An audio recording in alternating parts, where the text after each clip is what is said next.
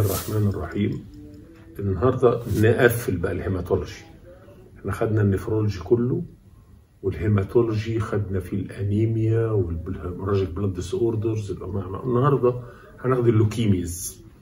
طبعا الممارس العام والخريج الجديد لا يمكن هيعالج حالة لوكيميا. تبقى جريمة لو هو حط إيده فيها ولا ده. هو هيبعتها لواحد يقدر يعالج لوكيميا لكن عار عليه لو ما شخصهاش. فاحنا الأساس في المحاضرات دي للطلبة وللخريجين الجداد إنه ما تفوتش منه حالة لوكيميا لأن تبقى كتيرة. المحاضرة طويلة شوية بس تستحملوها معايا إن شاء الله عشان نبقى خلصنا ال hematology وال system الجاي إن شاء الله هو من أجمل ال systems اللي أنتوا كلكم مستنيينها cardiology.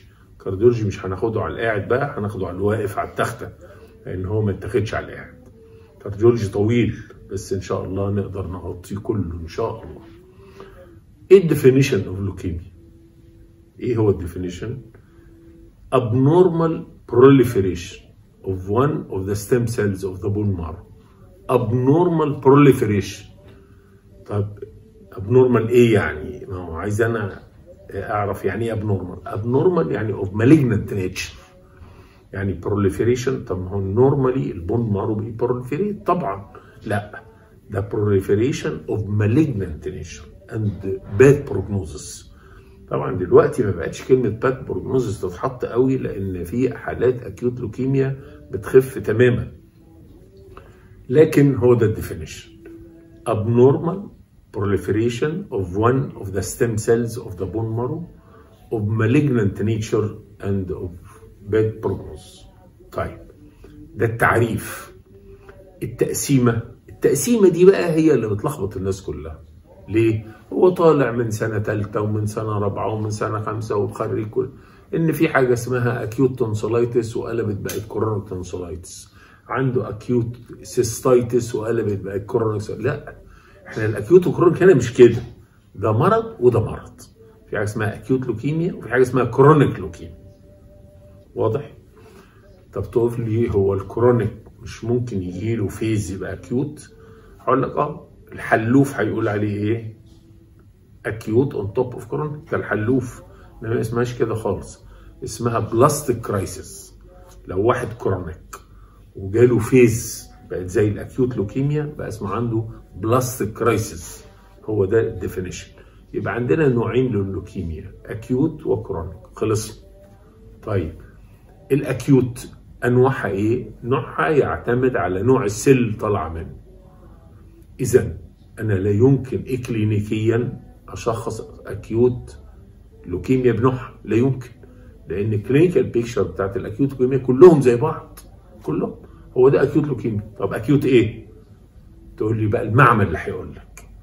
عشان كده المع... الأقسام ال hematology اللي في الحتت المحترمة دكتورين دكتور باطني ودكتور معمل لازم يقف جنبه. يبقى عندنا ال acute leukemia تقسيمها تعتمد على ال cell of origin فإذا كانت طالعه من monoblast تبقى monoblastic leukemia طالعه من lymphoblast تبقى lymphoblastic leukemia طالعه من myeloblast تبقى myeloblastic leukemia بس بقت سهلة جدا. فنوع اللوكيميا المعمل اللي هيقول قبل ما نخش في ال investigation هل التفرقة معمليا سهلة؟ الإجابة لا. خلايا كلها شبه بعضها ال monoblast شبه ال myeloblast شبه ال lymphoblast لكن هناك طرق كثيرة للتفرقة حاجة اما أجي في ال investigation هقول يبقى acute و chronic ال acute كذا نوع أنواع هتعتمد على الخلية اللي طلعت منها. كل الحالات ال acute leukemia تشخص ك acute leukemia ما تشخصش نوع اللوكيميا ابدا. إكلينيكيا واحد جاي العياده آه ده acute leukemia قلنا عار إن إحنا تفوت منك حالة. ليه؟ لأن ال differential كبير شوية. طيب what is the clinical picture of acute leukemia? اولا it is acute onset. فعلا. يعني الولد كان بيلعب يوم الخميس في النادي مع أصحابه يوم السبت مش قادر يتحرك. Very acute. نمرة اتنين young age ال acute leukemia بتاعت سن صغير. 15 17 طبعا ممكن تيجي في أي ساعة أي حد لكن ده ال common. تمام؟ يبقى acute onset in young age. ال picture بتاعت إيه؟ حاجتين لا ثالث لهم.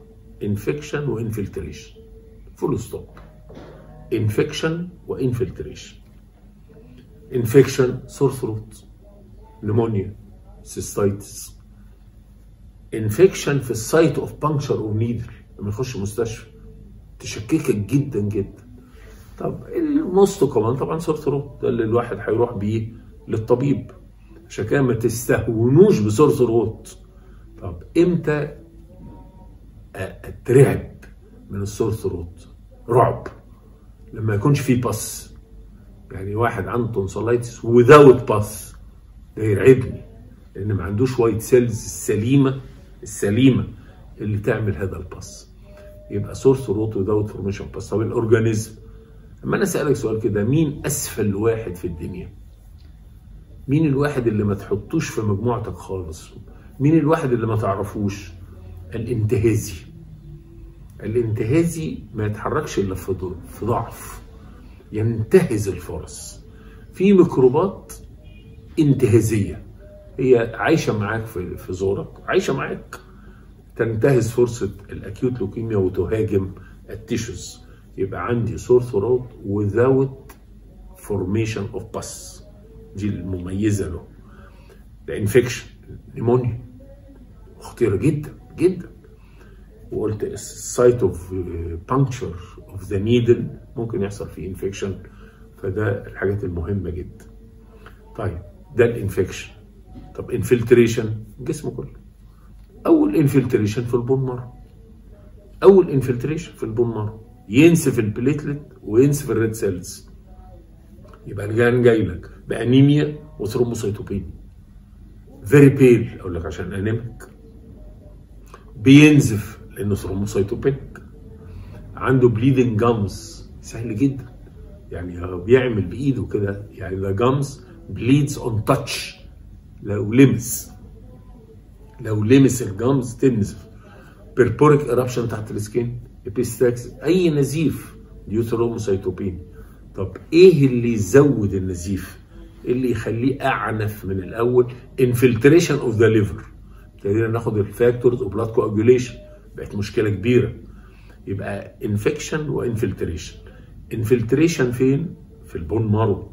عمل لي انيميا ما هو خلاص هو عنده لوكيميا عمل انيميا و thrombocytopenia مهم. infiltration of the liver and spleen بيكبروا بس مش قوي. بيكبروا بس مش قوي. يعني spleen just palpable spleen وال liver يا دوبك 2 3 finger تحت ال costal margin في ال midclavicular line يا دوبك فبيكبروا من ال infiltration طب سؤال بقى ساعات نساله كده للطلبة. طب افرض لقيت spleen كبير والمنظر منظر acute leukemia الاحتمالات إيه؟ تقول لي الاحتمال الأول إن ال spleen عنده من الأول. ده عيان ب spleen وجاله acute leukemia spleen من الأول يعني إيه؟ bilharzial malarial. عنده حاجة مكبره وجاله acute leukemia. الاحتمال الثاني إن ال acute leukemia دي كانت on top of chronic leukemia ب spleen كبير فتبقى blastic crisis تبقى مش acute leukemia ده blastic crisis الاحتمال الثالث إن حصل replacement of the bone marrow و fibrosis of the bone marrow فابتدى ال spleen يكبر. المحاضرة اللي فاتت myelofibrosis بتكبر ال spleen عشان هو اللي يعمل ال RBCs وال white cells وال platelet دول الاحتمالات بتاع واحد spleen كبير لكن هو acute leukemia فدايما دي خليه بالك infiltration CNS infiltration ل CNS مهم طبعا. طبعا. أخطر إحنا قلنا العيان ده bleeder bleeding gums epistaxis melena GI GIT bleeding أخطر bleeding عنده intracranial bleeding ملوش حل. ال intracranial bleeding ده خطير جدا جدا يعني. فممكن يكون ال CNS intracranial bleeding أو convulsion بس أو يكون نتيجه ال drugs ال effect of drugs أو electrolyte disturbance الناس دول ساعات يبقى عندهم hyponatremia شديدة فيجي لهم convulsion نتيجة electrolyte فلما يجي لك واحد ب CN leukemia و CNS manifestation حدد بسرعة. هتحدد بكل ال investigation اللي تعملها اللي هو intracranial bleeding ولا لأ عشان أبتدي أمشي آه، آه، صح. infection و infiltration infiltration أي حتة في الجسم. طبعا أخطر infiltration في ال bone marrow طبعا ما هو ده infiltrated بقى عنده pancytopenia pancytopenia مش زي ال pancytopenia يعني. بس هو ال white cells عالي. ممكن أحد ال complication of leukemia في ال bone marrow myelofibrosis myelofibrosis قصة ثانية خالص. اتكلمنا عليها الحصة اللي فاتت.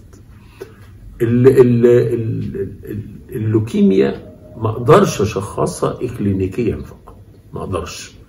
لازم investigation ممنوع تشخيص لوكيميا. ما أقدرش واحد عندي في العيادة أمه جايباه أقول لها ابنك عنده لوكيميا. ما أقدرش أقول الكلمة دي. لازم هيروح المعمل وهو هيقول لي على الأقل يقول لي نوع اللوكيميا إيه. فأول حاجة بنعملها blood picture blood picture كالآتي. واحد الأنيميا is constant مفيش حاجة اسمها acute leukemia والهيموجلوبين طبيعي. مفيش حاجة اسمها كده. anemia is constant لابد يبقى العيان anemic anemic يعني. هيموجلوبين 8 9 7 في الحدود دي. ال platelet count is low مفيش حاجة اسمها لوكيميا من غير thrombocytopenia مفيش حاجة اسمها كده. أنا بتكلم على المعظم يعني. ال platelet count low تعال على ال white count بقى. تقول لي طب ما هو عالي. أقول لك لا ثلاث احتمالات. العالي ده العادي. ودايما عالي وأقل من 100000 يعني بيبقى 80000 70000 بيبقى أقل من 100000 لكن ممكن جدا جدا يبقى normal aleukemic leukemia بص الأبشع بقى ممكن يبقى subnormal subleukemic leukemia يبقى العادي أو most common feature في ال acute leukemia إن ال white cell count يبقى عالي تحت 100000 ممكن يبقى normal aleukemic أو تحت ال normal subleukemic. تقول لي طب ما تشخصه إزاي؟ بال blast cells يعني ال differential count هو اللي هيقول لي آه، ده لوكيميا ال blast cells سواء لو كان عالي أو normal أو واطي. سواء كان عالي يبقى diagnosis بال differential count مش بال total count blast cells وحسب نوع ال blast cell هتطلع اللوكيميا لو كانت ال blast cell lymphoblast تبقى lymphoblastic leukemia لو monoblast تبقى monoblastic leukemia لو myeloblast بقت myeloblastic leukemia واحد هيسأل سؤال ممكن في ال subleukemic وال aleukemic ما يبقاش في blast cell في ال peripheral blood نادر قوي. نادر جدا إن ما يبقاش في blast cells في ال peripheral blood فيبقى غالبا بنشخص بال peripheral blood في الحالات الصعبة اللي إحنا عايزين نشخص بيها بنعمل bone marrow بيبقى full blast cells bone marrow واحد هيسألني برضو سؤال. هل التفرقة بين ال lymphoblast وال myeloblast وال monoblast في أول محاضرة قلتها سهلة؟ قلت لك لا مش سهله ده ساعات توصل ل immunophenotyping عشان تعرف ده و genes نعرفها ده إيه و granules في ال cells ونوع الصبغه اللي بتاخدها ال cell وحجم ال cell وشكلها. ف... ومع ذلك ممكن نغلط. فالحاجات اللي أنا قلتها دي تفرق. بين أنواع ال blast cells كلها. آه، طبعا treatment supportive therapy antibiotic محترم ما يضرش ال bone marrow blood transfusion مهم جدا. آه، أي حاجة. وبعدين ندي ال chemotherapy اللي هو مش شغلتك ده واحد لازم يروح مستشفى و isolation لأن هو very very liable to infection ادي ال acute leukemia شفتوا بقى سهله إزاي؟ إحنا قلنا ان إحنا مش هنعالج acute leukemia لكن عار علينا إن إحنا ما نشخصش acute leukemia. طب تلخبطني معايا تخيلوا مرض لا يمكن يجي بالك لا يمكن يجي بالك rheumatic fever. والله العظيم. شبه ال acute leukemia. bony pains. هو الواد لأنه صغير مش هيقول مفاصلي هيقول عظمي. عنده bony pains. واللوكيميا فيها bony pains due to infiltration of the bone marrow. pallor عنيف جدا جدا. ال rheumatic fever very pale وال acute leukemia very pale وعنده sore throat هنتكلم في ال cardiology مع علاقة ال sore throat بال rheumatic fever. فهيلخبطك شوية لكن الأساس عيان ال hemolytic anemia ممكن جدا جدا يلخبطك مع ال acute leukemia. عيان ال thrombocytopenia العنيفة ITP العنيف ممكن جدا يلخبطني مع acute leukemia. عيان ال agranulocytosis واحد خد دواء بوظت له ال white cells هيجي له sore throat وممكن ينزف و و يبقى دول ال differential diagnosis acute leukemia فده يخل... نخليه بالنا عشان ما نغلطش في التشخيص. هنخش على chronic leukemia عندنا نوعين من ال chronic leukemia chronic myelocytic تقول لي إيه أنت ليه بتحزق في cytic دي؟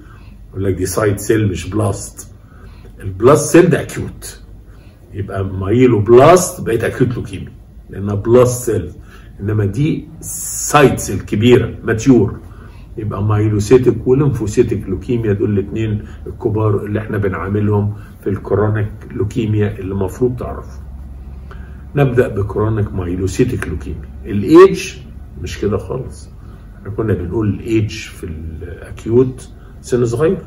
15 18 7 8 في الحدود دي ده 35 45 50 تمام؟ يبقى الايدج مختلف. ال main presentation في ال chronic myelocytic leukemia splenomegaly ده main presentation عنده pallor عنده pallor عنده bony pains عنده bony pains يبقى زي ال acute بس على mild عنده bleeding عنده bleeding زي ال acute بالظبط بس very mild لكن ال characteristic feature فيه هو ال spleen spleen crossing the middle line spleen crossing the middle line spleen لحد ال left ال right iliac fossa spleen كبير محترم.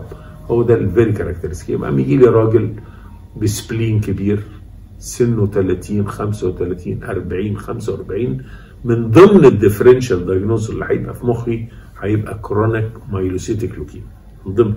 لو عنده bony pains عنيفة لو pale لو بينزف يبقى أنا قريب قوي اللوكيميا عن البلهارسيا والملاريا وال myelofibrosis تمام؟ ده ال main presentation تعالى بقى في ال investigation عشان ال differential diagnosis هو ال differential diagnosis من إيه؟ من حاجتين. يا إما ال blood picture هتلخبطني يا إما اكلينيكيا هيلخبطني. مش هيلخبطني اطلاقا اكلينيكيا إلا واحد عنده spleen يبقى ده differential diagnosis of chronic myelocytic leukemia is a patient with splenomegaly huge spleen. طب هل ال blood picture تلخبطني؟ yes تعال نشوف ال blood picture إيه الأول قبل ما نقول هتلخبطني مع إيه. blood picture anemia mild يعني ممكن ألاقي هيموجلوبين 10 و9 في ال chronic myelocytic leukemia platelet count thrombocytopenia mild تعال بص في ال white cell count بقى. عدى ال 100000 250000 350000 عدى. إحنا قلنا اللوكيميا آخرنا تقريبا 100000 وكلها blast cells ده cyte cell myelocytes وعدى ال 100000 200000 تقريبا. تمام؟ تقول خلاص بقت سهلة جدا. أقول لك يا ريت يا ريت كان يبقى الطب سهل. لو دي سهلة بقى الطب سهل. يبقى ال blood picture ال white cell count عالي جدا جدا. والهيموجلوبين واطي شوية. أنيميا. وال platelet واطية شوية. thrombocytopenia إيه اللي لخبطني؟ دلوقتي في واحد دبانة وقفت على وشه. إيه الطبيعي اللي يعمله؟ كده. خلاص. دبانة وقفت على وشي بعمل كده. طب لو جبت خشبة ورحت خابط فيها نفسي مش هبقى مجنون عشان دبانة؟ ال bone marrow ساعات يتهبل. يلاقي infection هو وظيفته إن ال white cells تشتغل لما يلاقي infection يشتغل بهبل. exaggerated response بدل ما يطلع لك هو إحنا آخرنا 11000 في ال leukocytosis بيبقى 14000 اللي عنده زايدة 14000 15000 لكن مش 200000 ممكن جدا. ده اسمه leukemoid reaction. leukemoid reaction is exaggerated response of the bone marrow to insult. واحد حصل له infection viral infection على فكرة بيحصل في ال TB TB infection أو أي infection بدل ما يطلع حبة قليلين 14 15000 يروح مطلع لك 200000 يبقى زي المجنون. تمام؟ ده اسمها leukemoid reaction يبقى ال differential diagnosis اكلينيكيا عيان ب spleen. differential diagnosis معمليا leukemoid reaction خلي بالك لو غلطت في ال leukemoid reaction واديته علاج اللوكيميا كارثة كارثة. ولو غلطت وقلت ده leukemoid وهو لوكيميا كارثة. يبقى لابد أن تفرق بين ال leukemoid reaction وبين اللوكيميا.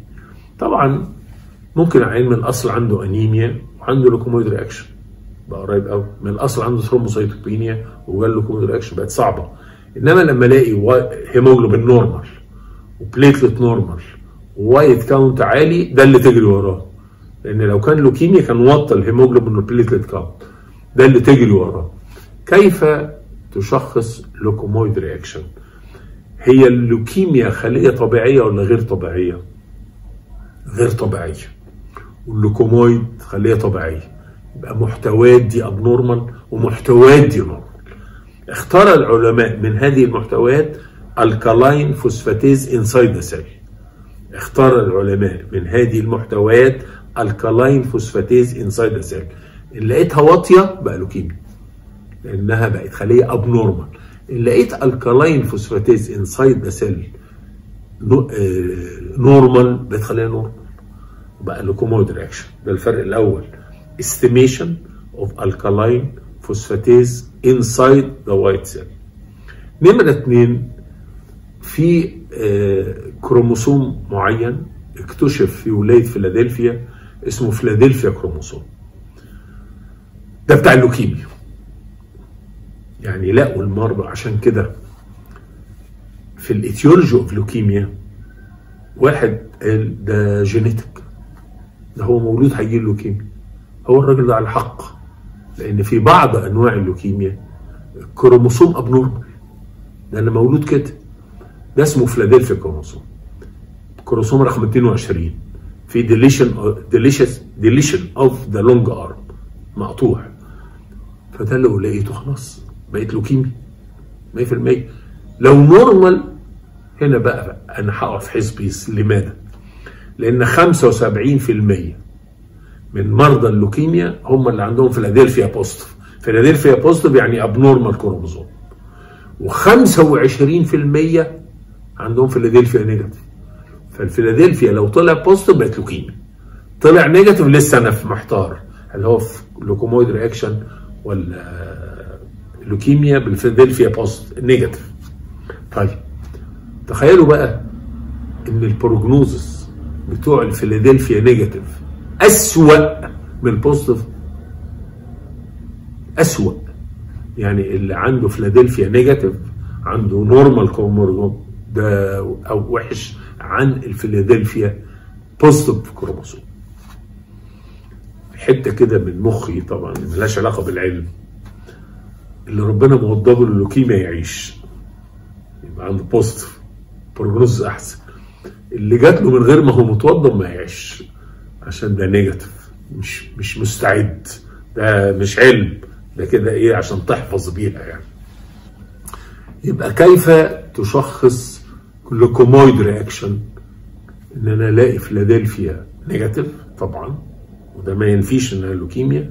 وإن ألاقي ال alkaline phosphatase is normal the white cell يبقى أما differential diagnosis of chronic myelocytic leukemia. اكلينيكيا patient with a spleen. معمليا إن أنا أشوف ال white cell count هل هو ده leukemoid reaction ولا لوكيميا. هنعمل bone marrow نعمل. مفيش أي مشكلة خالص. اعمل bone marrow هتلاقي infiltrated بقى myelocytes كتيره جدا.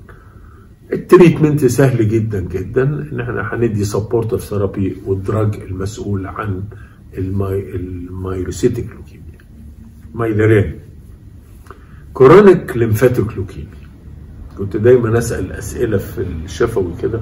أقول له لو تمنيت لوكيميا تتمنى إيه؟ يقوم العيال تبلم كده. تبلم. مش عايز يجي لي لوكيميا أيوه يا سيدي. بعد الشر عنك وكل اللي أنت عايزه نعمله. بس أنا عايز أعرف علميا أنت عارف ولا لأ. لو تمنيت لوكيميا تتمنى chronic lymphocytic leukemia لسببين. السبب الأول بتيجي في سن كبير جدا. 65 وممكن تسيبها 15 سنة. من غير علاج. من غير علاج. عايز تقعد أكتر من 80 أنت حر بقى. أنت حر. فيبقى ده the best prognostic leukemia ما عدا واحدة. هتكلم عليه. يبقى ال chronic lymphatic leukemia حتى ال etiology بتاعها لطيف جدا أعرفه. يقول لك ده aged lymphocyte يعني إيه aged lymphocyte دلوقتي إحنا في مصر إيه مشكلتنا؟ في المرور. عدد العربيات فظيع. فظيع. يعني عندنا عدد عربيات دلوقتي غير عادي ليه؟ العربية موديل 45 لسه ماشي. والله العظيم لو رحت الأرياف هتلاقي موديل شيفروليه 45 بين الناس وموديل 46 يعني أنا سنة 45 كان عندي عربية. ما رميتهاش. بعتها. واللي خدها وربنا فتح عليه جوه باعها باعها لحد ما سنه 2000 2020 موجوده فتكدس. ده ال chronic lymphatic تكدس للل lymphocytes القديمه aged lymphocytes يبقى ال lymphocytes ما بتموتش. قاعدين نرمي في الشارع نرمي في الشارع فبقت زي المرور في, في القاهرة. عدد كبير جدا في في الدم. lymphocytes هو مش مرض خطير قوي يعني. ممكن ألاقي عنده lymph nodes أي لوكيميا فيها lymph nodes أي لوكيميا. ال acute leukemia فيها شوية lymph nodes صغيرة. infiltration ال myeloid فيها شوية lymph صغيرة infiltration ال lymphatic شوية lymph بس مش lymphoma. take care ده مش ليمفوما. ده lymphatic leukemia. ألاقي شوية lymph كبار كده infiltration ال clinical manifestation ممكن جدا صدفة. ممكن جدا جدا جدا صدفة. الصدفة إن أنا بعمل blood picture ألاقي ال white cell count 120000 و70% منهم lymphocytes خلاص بقت ال chronic CLL chronic و- و- والراجل مش داري ليه؟ لأن هي مرض حنين ما يعملش حاجة. طب بقى شرس بقت blastic crisis. لو لقيت lymphoblast بقت blastic crisis وعلى المستشفى وهياخد علاج. كل ال chronic lymphatic leukemia very benign ما عدا نوع. بنلاقي الخلية زي لها cytoplasmic processes زي الشعر. cytoplasmic process process طالعه من الايه؟ من جدار الخلية. اسمها hairy cell leukemia ال hairy cell leukemia خطر. تعالج. وفي بعض الكتب تعالج ب splenectomy عشان نقلل ال malignant cell mass. فبعض الكتب بنع- بنعالجها ب splenectomy لكن تاخد علاج chemotherapy زي زي أي لوكيميا لأنها bad type of leukemia اللي هي ال hairy cell leukemia ادي ال myeloid وادي ال lymphatic وسهلة جدا. تروح تقراهم هتلاقي مفيش أي مشكلة فيهم. عنده infection طبعا. طبعا ممكن يجي له infection و infiltration وكل حاجة. هناخد بقى مرض جميل آه نادر لكن مهم myelomatosis multiple myeloma هو العنوان إيه؟ العنوان plasma cell dyscrasia plasma cell dyscrasia جنون ال plasma cell. جنون ال plasma cell في حاجتين. عددا أو وظيفة. عددا أو وظيفة. عددا اسمها plasma cell leukemia. عددا اسمها plasma cell leukemia. وظيفة اسمها multiple myeloma MM تمام؟ طب والعددا تبقى وظيفة سليمة قطعا لا. قطعا لا مصنع بيطلع كتير. هي وظيفة ال plasma cell إيه؟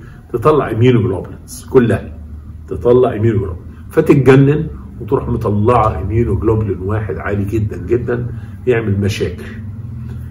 إيه مشكلة ال multiple myeloma؟ إيه المشكلة فيها؟ infiltration plasma cell ت infiltrate الجسم كله. infection hyperviscosity لماذا؟ عشان ال paraproteins ال paraproteins اللي طلعت بتزود ال viscosity of the blood يبقى عندنا مشاكل كتيرة جدا. مشكلة metabolism uric acid عالي جدا. مشكلة kidney لأن ال multiple myeloma بت infiltrate ال kidney. ممكن اليوريا والكرياتين يعلوا فيبقى هو مرض multisystem من إيه؟ من ال paraprotein. plasma cell leukemia هل تفرق عن ال multiple myeloma is very very very difficult. فأكبر المراكز في أوروبا وفي أمريكا صعب جدا عليهم التفرقة بين واحد plasma cell لوكيميا وبين multiple myeloma الاثنين جنون plasma cell اللوكيميا عددا وال myeloma شغلا. تقول لي طيب آه، ال clinical picture أقول لك الايدج كبير شوية 45 50 male زي female infiltration of the bone دي اهم حاجة bony pains عنيفة جدا. جدا. يعني تلاقي العيانة أو العيان جاي بآلام في العظم شديدة جدا. مش بس كده. pathological fracture pathological fracture يعني إيه pathological fracture يعني fracture induced by minor trauma fracture induced by minor trauma يعني أما إيدي تخبط في الكرسي كده. يعني إيه المشكلة؟ طب تتكسر لو إيدي اتكسرت من خبط الكرسي بقى pathological fracture نازل على الرصيف. ده 20 سم رجلي اتكسرت. بقى pathological fracture ال trauma اللي ما تعملش fracture بني آدم العادي بتعمل في العادي. فده عنده pathological وعنده severe bony pains infiltration of the kidney بسط مش بس كده. ال multiple myeloma is complicated by amyloidosis. Is complicated by amyloidosis وتاخد ال kidney. يبقى أما أجي أقول لك ال kidney بتتاخد ليه في ال multiple myeloma تقول لي واحد infiltration by plasma cells أقول لك برافو عليك. اثنين amyloidosis أقول لك برافو عليك. تقول لي نتيجة ال hyperuricemia وعنده hyperuricemia عالية جدا. uric acid عالي جدا. أقول لك برافو عليك. تقول لي hypercalcemia بوظت ال kidney. أقول له برافو عليك. أو infection يبقى ال kidney بتتاخد في ال myeloma بخمس طرق. يا إما infiltration يا إما infection يا إما amyloidosis يا إما hypercalcemia أو hyperuricemia دول ياكلوا ال kidney آه لما أجي أبص على ال CNS infiltration infiltration of the spinal cord أنا شفت أكثر من مريض والله paraplegia جايين شايلينه paraplegia و wedge fracture of the vertebra ونعتبر الأمور عادية في الأول. by investigation يثبت إنه myeloma وهو اتكسر لأنه myeloma فده ال CNS manifestation بتاعتها. في spleen just palpable في liver infiltration هيكبروا 2 3 سم لكن ده الأساس. عنده انيميا yes طبعا. plasma cell بت infiltrate marrow عنده thrombocytopenia yes طبعا. فيبقى هو تبع زي اللوكيميا بس ما هوش كده. طب ما ال plasma cell بتطلع إيه؟ paraprotein يختار أي جي جي أو IgM أي حاجة. بس بشرط واحد بس. واحد بس. بتقول لي مثلا واحد عنده روماتويد أقول لك لا ده عنده more than 1 immunoglobulins إنما ده. طب يلا نسميها. هنسميها monoclonal واحد gammopathy يعني لما ابعت الدم. يعمل plasma protein electrophoresis يرد عليا المعمل يقول لي عندي ده monoclonal gammopathy واحد بس بيقول peak طالع زي الخازوق كده في في الرسمة اللي بترسم. الرسمة بترسم هرم وهرم وهرم. ثلاثة albumin و globulin و fibrinogen وال globulin حتى لو كتر كله يكتر. إنما ألاقي واحد بس كبير هو ده monoclonal gammopathy ده التشخيص. البول فيه حاجة؟ yes طبعا. Bence Jones protein what's Bence Jones protein ال immunoglobulin لها two arms كده يتفصلوا عن بعض. وال short arm ينزل في البول. ده اسمه Bence Jones protein بيجمد عند 60 ويفك تاني عند 80 درجة مئوية. فلما سخن البول الاقي يتعكر ثم فك. ده يشخص كويس جدا. وبعدين أعمل bone marrow أشوف ال plasma cells شكلها إيه. هنلاقي إن ال bone marrow infiltrated by the plasma cell أهم حاجة يا أولاد في التشخيص هو ال monoclonal gammopathy monoclonal gammopathy واضح؟ لما أعمل plasma protein electrophoresis يطلع بهذا المنظر العجيب وده بيشخص سهل جدا. طبعا في أدوية كتيرة لل myeloma supportive therapy blood transfusion antibiotics نصلح الكسر أي حاجة. ونعالجه بال melphalan اللي هو في كذا drug يعني. ده أحد الأدوية اللي إحنا بنستخدمها. يبقى إحنا عرفنا يعني إيه acute leukemia انواعها إيه كيف تشخصها؟ إيه ال differential diagnosis يعني إيه chronic leukemia انواعها إيه كيف نشخص ال myeloid leukemia كيف نشخص ال lymphatic leukemia؟ وعرفنا مرض خفيف كده على الماشي اسمه multiple myeloma اللي هو جنون ال plasma cell أو plasma cell dyscrasia. وقلنا إن التفرقة بينه وبين ال plasma cell leukemia تفرقة صعبة جدا جدا.